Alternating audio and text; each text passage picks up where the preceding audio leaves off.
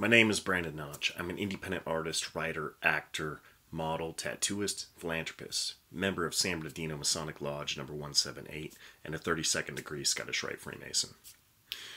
I'm an accomplished artist, internationally recognized and well known in the tattoo industry, with interest in fitness, philosophy, nature, art, science, and consciousness studies.